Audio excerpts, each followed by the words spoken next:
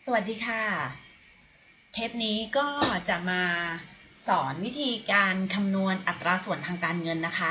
หลังจากที่เราได้เรียนตัวเนื้อหาของหน่วยเรียนที่ 2.1 ในเรื่องของออัตราส่วนทางการเงิน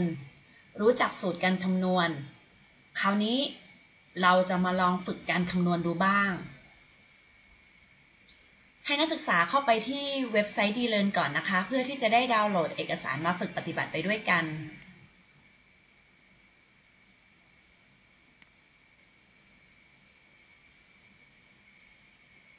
เมื่อนักศึกษาเข้ามาที่เว็บไซต์ของดีเลินแล้วนะคะ ก็เข้าสู่ระบบ เดี๋ยวตรงนี้อาจารย์ลองสมมุติเป็น user นักศึกษานะคะ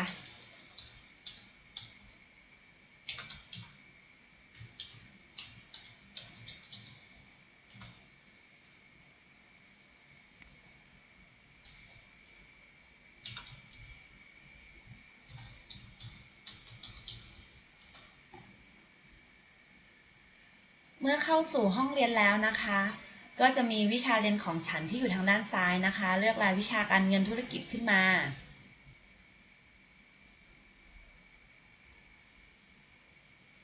แบบฝึกปฏิบัตินี้จะอยู่ในหน่วยเรียนที่ 2 การวิเคราะห์งบการเงินวงเล็บ1ทับ2ซึ่งใช้เรียนต่อจากตัวคลิปสอนที่ 2.1 ตัวคลิป 2 สอนที่ 2.1 ได้อธิบายตัวอัตราส่วนทางการเงินไว้ ทีนี้เราจะมาฝึกการคำนวณบ้าง จะมีสูตรอัตราส่วนทางการเงินอยู่ นักศึกษาดาวน์โหลดไว้ก่อนนะ นี่คือสรุปตัวสูตรอัตราส่วนทางการเงิน นักศึกษาที่ยังไม่จำสูตรไม่ได้ หรือไม่ได้จำสูตร เราก็ใช้สูตรตัวนี้ไปคำนวณได้เลย ส่วนอาจารย์จำได้แล้ว อาจารย์ก็อาจจะไม่ได้เปิดมาที่หน้านี้บ่อยนะอะคราวนี้ก็ย้อนกลับมา แบบฝึกปฏิบัติเลโชจะอยู่ที่แบบฝึกหัดชุด2ขีด3นักนักศึกษาคลิกเข้าไป จะมีการสั่งงานอยู่คือให้นักศึกษาวิเคราะห์อัตราส่วนทางการเงิน จากไฟล์เอกสารที่กำหนดให้ทำใส่ Excel แล้วก็ตั้งชื่อไฟล์เป็นภาษาอังกฤษว่า worksheet 2ขีด1 underscore ตามด้วยชื่อ เช่น worksheet 2ขีด1 underscore ทลิสยา งานนี้กำหนดให้ส่งภายในวันจันทร์นักศึกษาต้องส่งก่อนวันจันทร์นะคะ เพราะว่างานนี้อาจารย์จะใช้สอนในวัน จันทร์ตอนช่วงบ่าย อาจารย์อยากนักศึกษาส่งก่อน เพื่อที่จะได้เข้าไปตรวจ ว่านักศึกษาเข้าใจในเนื้อหานี้ดีแค่ไหน วิธีการนะคะให้นักศึกษากดดาวน์โหลดตัวนี้ขึ้นมา แล้วทำทำเสร็จแล้วก็ส่งแนบไฟล์งานนี้ภายในเวลาที่อาจารย์กำหนด นักศึกษาคลิกแล้วก็ดาวน์โหลดขึ้นมานะคะ ตัวไฟล์หน้าตาจะเป็นอย่างนี้อะคราวนี้เราก็มาดูโจทย์กัน จากข้อมูลที่ให้ในเอกสารงานนี้จะเห็นว่า ให้งบการเงินของบริษัทแจ่มจลัดมา แบ่งเป็นงบแสดงฐานะการเงิน งบกำไรขาดทุนแบบเปรียบเทียบ และให้คำนวณอัตราส่วนทางการเงินของบริษัท จะเห็นว่ามีทั้งหมด 16 อัตราส่วนนะคะ อะ ลองทำดู เริ่มต้น ก่อนที่จะวิเคราะห์อัตราส่วนทางการเงินได้ เราก็ต้องมาอ่านและทำความเข้าใจตัวงบที่ให้มาก่อน งบที่ให้มามีงบแสดงฐานะการเงิน ให้รายการปี x 2รายการปี x 1เปรียบเทียบกัน 2 ปี ปี x 2เป็นปีล่าสุด ปีล่าสุดมันก็คือตัวรายการปลายงวดนะอะอาจารย์ก็จะใส่คอมเมนต์เอาไว้ว่าตัวนี้เรียกว่ารายการปลายงวด ดูซิว่า insert ได้ไหม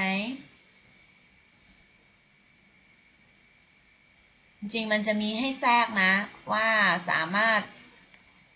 อะไร insert comment อะคอมของอาจารย์ตรงนี้หาไม่เจอ เมนูคงจะไม่ครบ อะ ไม่เป็นไร ถ้านักศึกษามีนักศึกษาก็ใส่ไว้หน่อยว่า x 2คือปลายงวดนะคะ ส่วน x 1คือต้นงวด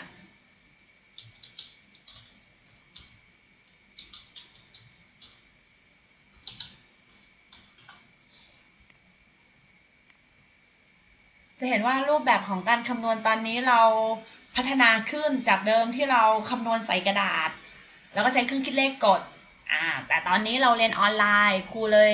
เห็นว่าเป็นเรื่องที่ดีที่เราจะฝึกทักษะการใช้คอมพิวเตอร์ ก็คือเราใช้ Excel เนี่ยในการคำนวณตัวเลขเลย นักศึกษาน่าจะชอบนะ เดี๋ยวลองทำต่อแล้วกัน โอเค อะ คราวนี้พอเรารู้แล้วว่าตัว x 2เนี่ยมันเกิดขึ้นล่าสุดเป็นปลายงวด x 1เป็นต้นงวดก็มาดูรายการที่ให้ ในรายการของสินทรัพย์แบ่งออกเป็นสินทรัพย์หมุนเวียน และสินทรัพย์ไม่หมุนเวียน ดูรายการที่เป็นสินทรัพย์หมุนเวียน ก็จะเห็นว่ามีรายการเงินสด ลูกหนี้การค้า สินค้าคงเหลือ และรวมสินทรัพย์หมุนเวียน ซึ่งงบตัวเนี้ยค่อนข้างง่าย เพราะอะไร เพราะเขากรุ๊ป ตัวรายการมาให้แล้วว่าสินทรัพย์หมุนเวียนอะมันคือเงินสด ลูกหนี้และสินค้า อาจารย์รู้ได้ไงก็มันเป็นรายการที่อยู่ก่อนคำว่ารวม เห็นไหมมีคำว่ารวมอยู่ ดังนั้นนักศึกษาก็รวมรายการสินทรัพย์หมุนเวียนของ x 2และ x 1ก่อนนะเราคงไม่ใช้เครื่องคิดเลขกดใช่ไหมอ่าถ้าใช้เครื่องคิดเลขกดครูก็ไม่อยากสอนโดยใช้เครื่องคิดเลขเท่าไหร่นะ เพราะว่าอุตส่าห์เตรียมแบบ สเปซชีตไว้ละแต่ก็ให้ลองดูก่อนถ้าเราใช้เครื่องคิดเลขกดจะหน้าตาจะเป็นยังไง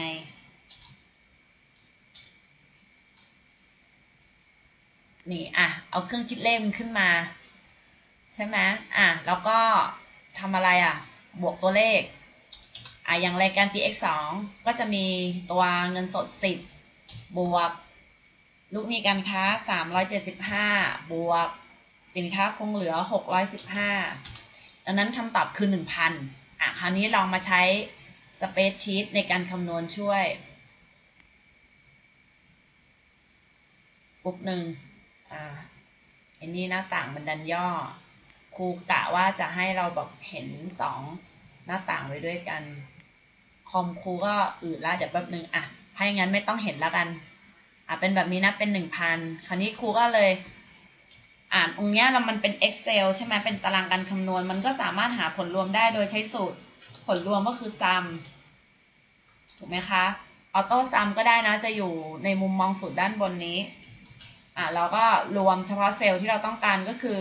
ไล่ตั้งแต่เงินสด ลูกหนี้แล้วก็สินค้า นักศึกษาก็จะเห็นว่าคำตอบมันก็เท่ากับ 1,000 ที่เราคำนวณด้วยเครื่องคิดเลขเห็นไหมคะ อ่า คราวนี้เมื่อเราเช็คแล้วคำตอบถูกแล้ว เราใช้สูตรซ้ำก็ได้นะ เราก็คัดลอกเลยนะ เพราะว่าการคำนวณของ x 1ก็เหมือนกับ x 2ครูก็เปลี่ยน pointer เห็นไหมอีกทีนะ เปลี่ยน pointer แล้วก็ลากไปทางขวาเป็นการคัดลอกสูตร หลังจากนั้นก็มาทำรายการต่อที่เป็นสินทรัพย์ไม่หมุนเวียน รายการสินทรัพย์ไม่หมุนเวียนก็มีที่ดินอาคารอุปกรณ์หักค่าเสื่อมคำนวณยังไง อ่า เป็นไปได้เนี่ยอาจารย์ขอ insert อีกแถวหนึ่ง อาจารย์ก็ คัดมาก่อนก็ได้ Ctrl X นะหรือคัดแล้วก็กดวางเนาะแล้วอาจารย์ก็เพิ่มมาอีกหนึ่งบรรทัด คืออาจารย์ไม่อยากจะ insert เพราะว่าเดี๋ยวแถวอื่น ที่อยู่ทางด้านขวามันจะขยับ อาจารย์ก็พิมพ์ไว้ว่า บรรทัดนี้คืออาคารอุปกรณ์สุทธิอะก็แทรกอีกหนึ่งแถว ก็ไม่ยากเพราะเราก็ใช้คอมเป็นใช่ไหมอะสุทธิ หลังจากนั้นทำยังไงก็หารายการสุทธิ ซึ่งรายการสุทธิตัวนี้มันก็เกิดจากเอาอาคารอุปกรณ์ตั้ง ลบด้วยค่าเสื่อมราคาสะสม ถ้าเราเอาอาคาร 700 ตั้ง ลบด้วยค่าเสื่อมสะสม 200 รายการที่ได้ก็คืออาคารอุปกรณ์สุทธิจะเท่ากับ 500 ใช่ไหมอะแล้วก็กดอะจริงด้วย 500 หลังจากนั้นเราก็คัดลอกทำของปี x 1เช่นเดียวกัน ตรงนี้เข้าใจเนาะอะเดี๋ยวเพื่อให้มันง่าย เดี๋ยวอาจารย์จะตึงเซลล์นี้เวลาขยับ ไปทำอันอื่นก็จะได้ขยับแถวอะมันจะได้แบบว่าไม่งงอะครูก็ตึงไว้ก่อนเนาะอะทำต่อ คราวนี้มารวมสินทรัพย์ที่มันไม่หมุนเวียน ถ้าเรากดด้วยเครื่องคิดเลขอะมันก็คือเอาตัวไหนตั้งอะ เอาตัวนี้ใช่ไหมที่ดินห้าร้อย บวกกับตัวสุทธิตัวเนี้ย อาคารอุปกรณ์สุทธิที่หลังจากหักค่าเสื่อมสะสมไปแล้วมันก็จะตอบหนึ่งพันนะคะ ถ้ากดด้วยเครื่องคิดเลขตอบหนึ่งพันอันนี้เราก็ใช้ Excel คิดไปเลย อยู่ปีสามกันซะส่วนใหญ่อะการใช้ Excel มันพื้นฐานมากครูคิดว่ามันไม่น่ายากสำหรับพวกเราเนาะอะครูก็บวกไปสามสองบรรทัดก็คือมีตัวที่ดินกับอาคารอุปกรณ์สุทธิเอ่อก็ตอบหนึ่งพัน รงกับที่เราคิดด้วยเครื่องคิดเลขเอาไว้นะคะ หลังจากนั้นเราก็คัดลอกสูตร เพราะมันเป็นการคำนวณในเซลล์ที่ซ้ำกันเนาะของ x 1 กับ x 2นี่ก็คัดลอกได้เลย หลังจากนั้นมาหาช่องรวม ช่องรวมเกิดจากอะไรนะช่องรวมสินทรัพย์นี้ประกอบไปด้วยรวมสินทรัพย์หมุนนี่นักศึกษาก็เอาอีตัวหมุนเนี่ยมาบวกกับสินทรัพย์ที่ไม่หมุน เอาหมุนกับไม่หมุนบวกกัน มันจะได้ตัวรวมสินทรัพย์ ไม่งงนะอ่าตัวรวมสินทรัพย์เกิดจากสินทรัพย์ หมุนเวียนกับสินทรัพย์ไม่หมุนเวียนบวกกันหนึ่งพันบวกหนึ่งพันก็ไม่ต้องงงอะตอบสองพันใช่ไหมแต่เราก็แบบเออใช้ Excel คำนวณเพื่ออะไร เพื่อที่ปี x 1เราก็ไม่ต้องคำนวณเอง แล้วก็คัดลอกเลย อ่ามันก็ตอบเลยว่า x 1ตอบพันหกร้อยแปดสิบก็ถูกนะแปดร้อยสิบบวกกับแปดร้อยเจ็ดสิบได้พันหกร้อยแปดสิบอะ เช็คเครื่องคิดเลขอีกทีก็ได้นะแปดร้อยสิบบวกนะคะแปดร้อยเจ็ดสิบอะคำตอบได้หนึ่งพันแปดสิบหนึ่งพันหกร้อยแปดสิบถูกต้อง โอเคนะคะ อะ เสร็จละ ถัดมามาทำรายการฝั่งหนี้สินและส่วนของผู้ถือหุ้น รายการหนี้สินและส่วนผู้ถือหุ้นอะมันจะแบ่งออกเป็นหนี้สินและ ผู้ถือหุ้น หนี้สินก็แบ่งออกเป็นหนี้สินหมุนกับไม่หมุน จากตรงนี้จะเห็นว่า มีรายการหนี้สินหมุน เจ้าหนี้การค้า ตัวเงินจ่ายค่าจ่ายค้างจ่าย เอาแต่ไม่ได้มีบรรทัด ที่จะเป็นส่วนของหนี้สินหมุนเวียนให้ทำยังไง อ่า ถ้าเราคำนวณ เราก็จะเอาตัวเจ้าหนี้การค้า 60 บวกตัวเงินจ่าย 110 บวก ค่าจ่ายค้างจ่าย140ก่อนกดไป60บวก110บวก140ต้องกดเครื่องคิดเลขตามนะ อย่าดูเพลินนะ เพราะเวลาสอบไม่มีใครมานั่งบอกใช่ไหม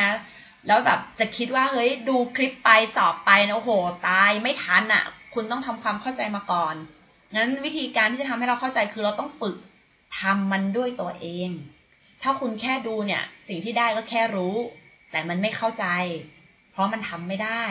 ดังนั้นเราต้องฝึกทำไปพร้อมกันนี่อาจารย์สอนให้ช้าละ ถ้าอาจารย์ไปสอนสดเนี่ยจะไวเป็นจรวดเลยนี่จะสอนให้ช้า นักศึกษาไม่ทันนักศึกษาก็กด pause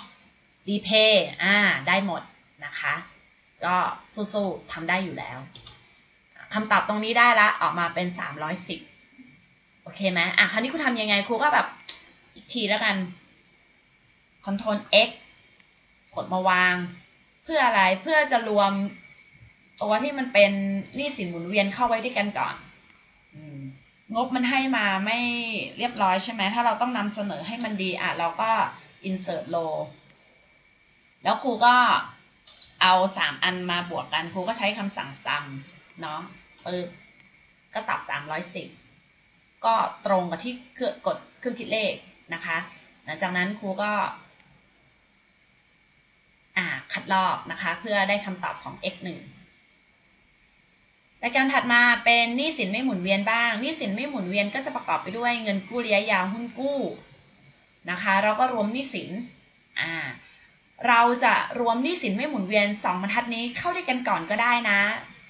แล้วเราค่อยไปรวมหนี้สินหมุนเวียนจะได้เป็นรวมหนี้สิน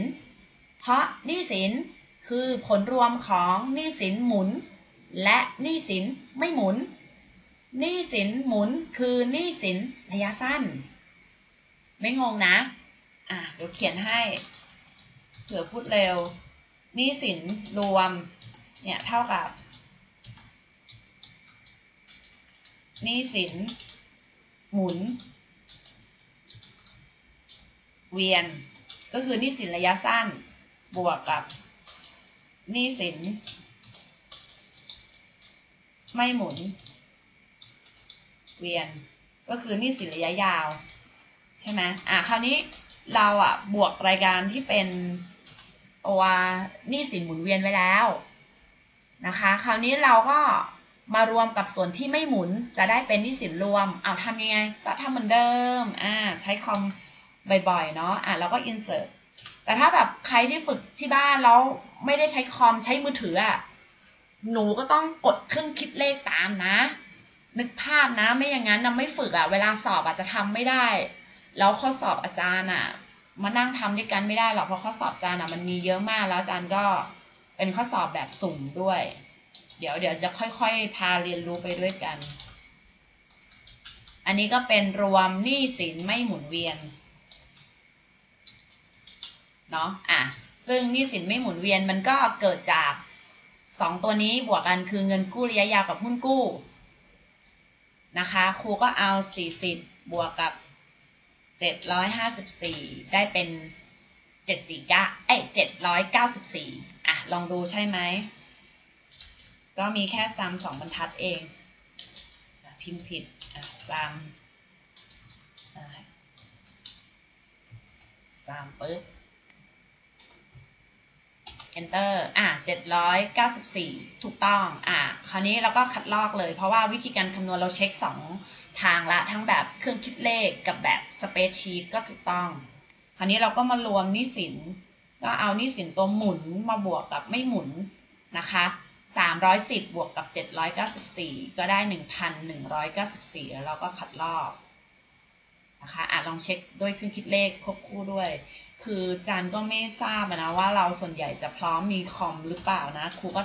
พาทำสองแบบเลยเนาะอะ754นี่ โทษทีนะเอา 310 นะคะ บวกกับ 794 ก็ได้ 1,104 โอเคถูกต้อง คราวนี้มาดูส่วนของผู้ถือหุ้น ส่วนของผู้ถือหุ้นมี 2 บรรทัดอะเอามันลงมาหน่อย สังเกตครูไม่อินเสิร์ตเพราะว่าครูไม่อยากไปขยับแถวรายการงบที่อยู่ทางด้านขวานะ เออแต่ถ้าหนูไปขยับก็ได้นะ ตามสะดวกเลยแต่มันก็จะแบบแหว่งแหว่งอะ เออ ส่วนของผู้ถือหุ้น อันนี้ก็เป็นรวมผู้ถือหุ้น เดาได้เลยทำเสร็จเนี่ย ทุกคนต้องทำทุกคนต้องส่งสเปซชีตนี้ครูนะส่งให้คุณครูนะ รวมส่วนของผู้ถือหุ้น แล้วคุณครูก็จะไม่แชร์ไฟล์นี้ด้วย เพราะอยากให้ฝึกเอง แต่ว่าแชร์แค่คลิปพอ แชร์ส่วนผู้ถือหุ้น โอเค รวมส่วนของผู้ถือหุ้นเอาทำยังไง มันก็มีแค่สองบรรทัดนี้ครูก็หนูจะกดบวกก็ได้นะ ถ้าหนูไม่อยากซ้ำอะ เพราะว่ามันก็มีแค่สองบรรทัดเองใช่ไหมอะลองดูใช่ไหมหนึ่งร้อยสามสิบนะคะ ที่เป็นหุ้นสามัญบวกกับกำไรสะสมได้แปดร้อยเก้าสิบหกถูกต้อง ถ้าใครไม่ทันว่าเฮ้ยทำไมต้องเอารายการนั้นบวกรายการนี้ ต้องไปดูเทปก่อนหน้าเพราะครูอะทบทวนไว้ให้แล้ว นะคะ ต้องไปทบทวนด้วยตัวเองนะอะคราวนี้เรามารวมหนี้สินแล้วผู้ถือหุ้น เอาบรรทัดไหน นี่เขาก็บอกแล้วหนี้สินแล้วผู้ถือหุ้นก็อย่าไปงงนะ นี่หนี้สินก็ตรงนี้ไงผู้ถือหุ้นก็ตรงนี้ ถูกต้องไหมมันก็อยู่ในบรรทัดเดียวกัน หลายคนแบบเห็นตัวเลขเป็นงบปุ๊บอุยปวดหัว ขอตายแป๊บอะไรเงี้ยไม่ต้องเลย เพราะว่ามันก็ไม่ยากอะไรมันทำได้อยู่แล้ว อยากรวยเนี่ยต้องรู้จักงบการเงินนะคะ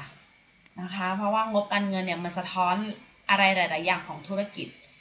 เนาะอะตรงนี้ได้สองพันละครูว่าน่าจะถูกแล้วรู้ไหมเพราะอะไรเพราะนี่ไงสินทรัพย์ กับนี้สินและผู้ถือหุ้นมันต้องเป็นเลขเดียวกันเท่ากันอะถูกต้องเลยสองพันอ่าและอีกปีหนึ่งก็หนึ่งพันหกร้อยแปดสิบโอเคถูกต้องอะต่อ คราวนี้มาในส่วนของการทำงบกำไรขาดทุน สงสัยอันเนี้ยครูต้องแบ่งสามเทปแน่เลย เนาะดีกว่าเนาะ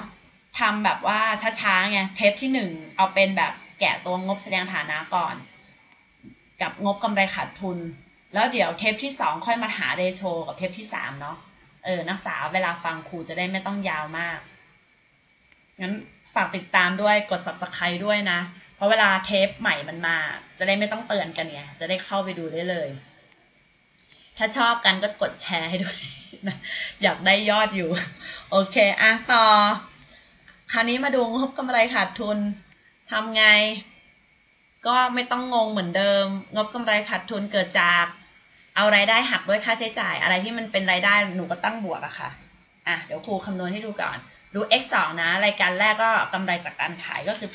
3,000 แล้วเราก็จะลบด้วยต้นทุนขาย 2,000 กับ4เนาะ อ่าสิ่งที่ได้เรียกกำไรขั้นต้นตอบลบ996อ่าลองเช็คอ่าเราก็กดเครื่องหมายเท่ากับนะคะเวลาคำนวณด้วย Excel เรากดเท่ากับ ไม่กดเท่ากับได้ไหมอ่าก็กดได้นะ ก็ต้องกดเครื่องหมายอื่นแทนอะ่ะ อันนี้ได้996 เท่ากันโอเค ถ้าถ้าคุณไม่กดเครื่องหมายเท่ากับอะค่ะ คุณกดอีกแบบนึงก็ได้คือกดเครื่องหมายบวก อาจารย์เคยทำแล้วมันก็ได้เหมือนกันนะเออเห็นปะ แล้วมันก็จะเนี่ยในสูตรมันก็จะเขียนไว้ให้ว่าอ๋อเท่ากับจำนวนเต็มบวกตัวนี้นะอ่าอันนี้คือแล้วแต่ทำไมครูถึงเลือกกดบวกรู้ไหมเพราะว่าคีย์บอร์ดที่อยู่ตัวเลขอะทางด้านขวามือที่มันเป็นแป้นนัมเบอร์มันจะมีเครื่องหมายบวก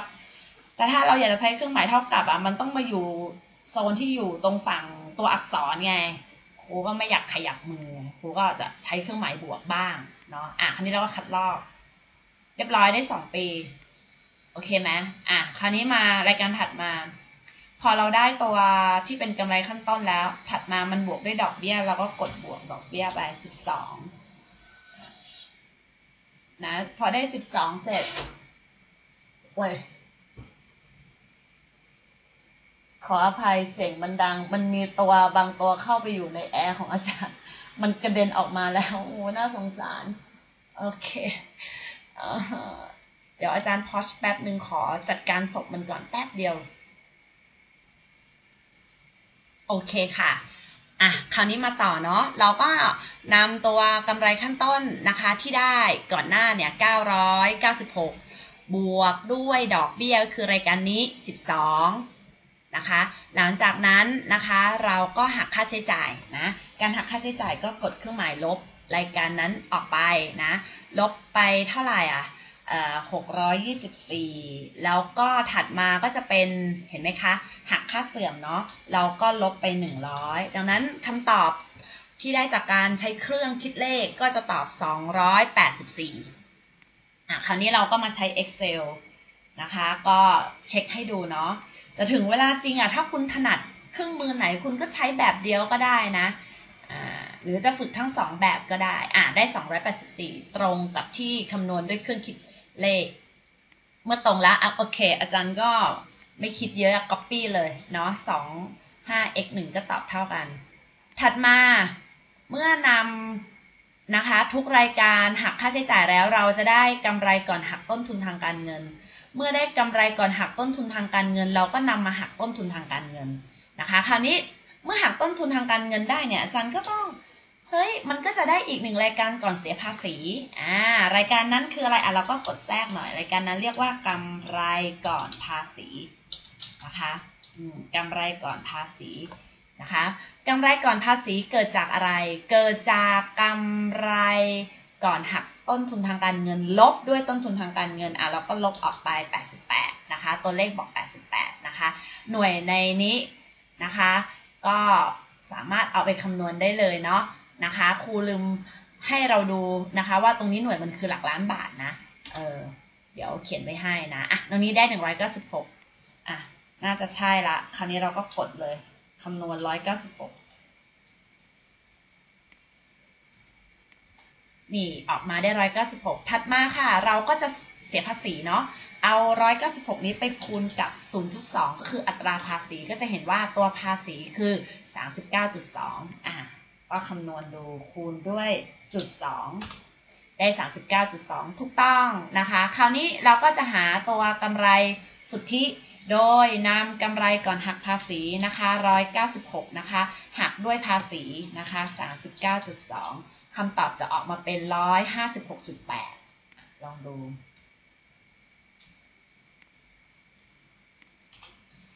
ได้157เป็นเพราะอะไร เป็นเพราะว่าทศนิยมมันซ่อนอยู่อะ แล้วก็ กดไปอะกด 2 ตำแหน่งก็ได้นะอ่าโอเค ตรงนี้ก็ถูกแล้วล่ะนะคะ2ตำแหน่งเช็คดูทีหนึ่งโอเคถูกต้องอะคราวนี้ถัดมาเราอยากรู้กำไรต่อหุ้นนะคะนักศึกษากำไรต่อหุ้นเกิดจากอะไรกำไรต่อหุ้นเกิดจากกำไรหารด้วยจำนวนหุ้น ดังนั้นสิ่งที่เราต้องทำคือเราต้องรู้จำนวนหุ้นก่อน ว่าจำนวนหุ้นอะมันเท่ากับเท่าไหร่ ซึ่งวิธีการหาจำนวนหุ้นเราก็เอาตัวส่วนของหุ้นสามัญตั้ง เมื่อเอาหุ้นสามัญตั้งเสร็จเราก็เอาไปหารด้วยราคาที่ตราไว้ หรือราคาที่ระบุนะคะ ราคาที่ตราไว้หรือราคาที่ระบุ เราก็มาดูตรงนี้เห็นไหมคะ ว่ามูลค่าของหุ้นมีอยู่ 130 ส่วนมูลค่าหุ้นคือ 2.6 ดังนั้นเราจะนำ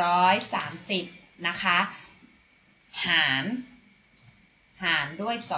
2.6 ดังนั้นเราก็จะมีจำนวนหุ้นอยู่ 50 ล้านหุ้นนะคะอ่าตรงนี้หน่วยเป็นล้านบาทอันนี้ก็หน่วยก็เลยออกมาเป็น 50 ล้านหุ้นทำยังไงอ่าอีกทีหนึ่งเราก็กดเท่ากับนะคะ130 หาร 2.6อ่าก็ได้ออกมาเป็น 50 ล้านนะคะแล้วเราก็คำนวณเป็นกำไรต่อหุ้น โดยการนำกำไรสุทธิตั้งหารด้วยจำนวนหุ้นคำว่าต่อมันก็เหมือนแบบเฉลี่ยแล้วอะว่ากำไร 156.8 ถ้ามีคนถือหุ้นอยู่ 50 ล้านหุ้น จะได้กำไรหุ้นละกี่บาทนะคะ มันก็เอามาแบ่งเท่าๆกัน หลักการแบ่งก็ใช้การหาร ไม่งงนะ อะ เสร็จละ ส่วนไอตัว x 1อะ มันก็เท่ากันแหละ เพราะอะไรนี่ร้อยสามสิบเหมือนกันสองจุดหกเหมือนกัน ครูก็คัดลอกสูตร หลังจากนั้นทำของปี x 1นี่ เสร็จเรียบร้อยละ นะคะอ่าเพราะว่าเราวางรูปแบบเซลล์นั้นเราจะเห็นข้อดีของการใช้ Spreadsheet นะคะของตัว Excel ก็คือ Spreadsheet แปลว่าตารางคำนวณไอตัวเนี้ยเขาเรียก Spreadsheet นะคราวนี้เราก็จะเห็นว่าการใช้ Spreadsheet มันมีข้อดีคือ พอเราคำนวณ 1 เซลล์ที่มันเขียนสูตรไว้ดี แล้วก็คัดลอกไปทำต่อได้ เวลาเราคำนวณหลาย ๆ ปี เราก็ไม่ต้องมาคำนวณใหม่ตั้งแต่ต้นนะคะอะเทปนี้เดี๋ยวแค่นี้ก่อนความยาวมันจะ 30 นาทีละ นะคะ ก็ฝากทบทวนด้วยแล้วติดตามต่ออีก 2 เทปนะคะ แค่นี้ก่อนนะคะ สวัสดีค่ะ